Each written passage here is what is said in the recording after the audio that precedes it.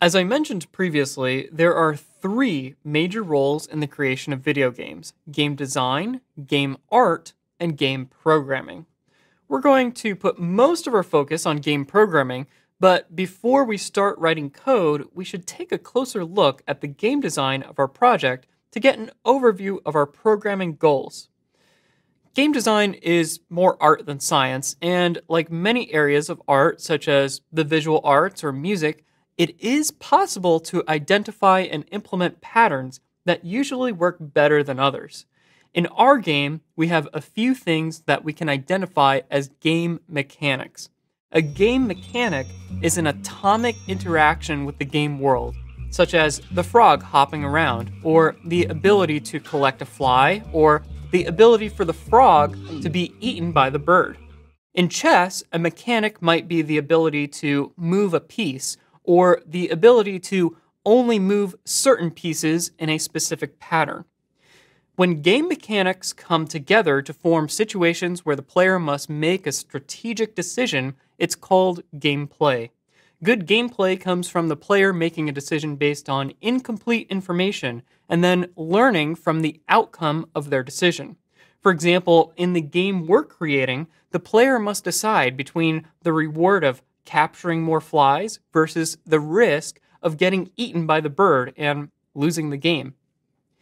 The game state changes from moment to moment, so the player has to make the best decision they can with the information they have at the time. In a more complex game like chess, the player is trying to balance defensive and offensive moves based on the current state of the game, the strategy the other player is exhibiting, and many other factors.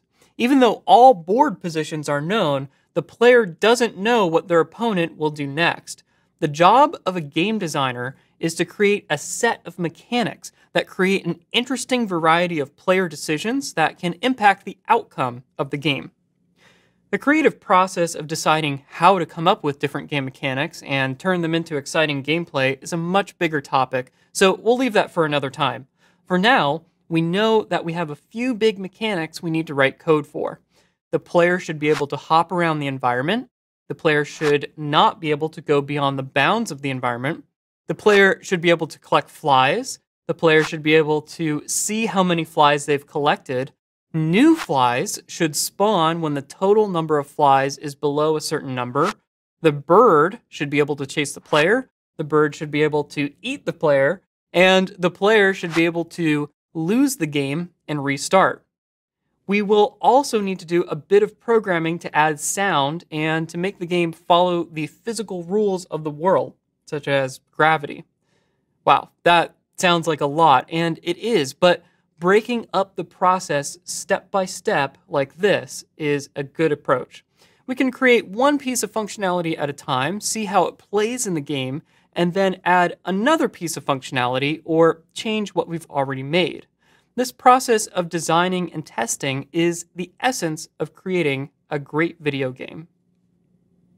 You'll want to play your game a lot while you're building it so that you get a sense of how it's coming together. That way, you'll be able to rapidly iterate and change the game based on what it feels like to actually play it.